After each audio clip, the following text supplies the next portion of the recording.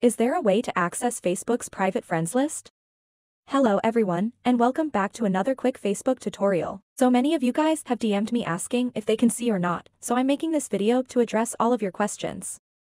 So, if one of your friends has hidden their friend list and you want to check or access it but are unable to, this video will explain how to do just that. So just watch the video to learn more today. You'll know whether it's possible or not after seeing this video. So, without further ado, let's get started right away.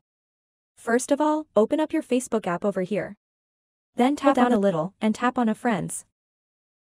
And then your friends. As you can see, this is my friend list. Okay, let's go to one of these profiles and try to check out the hidden friend list.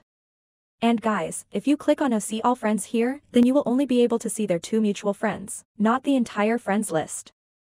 So the biggest issue here is that if you want to see the hidden friend list or their private friend list, then it is not possible.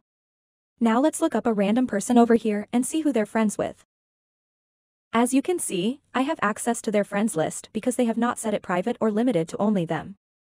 So, if they have their privacy settings set to only me, there isn't really much you can do. So that's how you can see their private friends list. I hope you find this video and the information somewhat useful. Thank you for watching.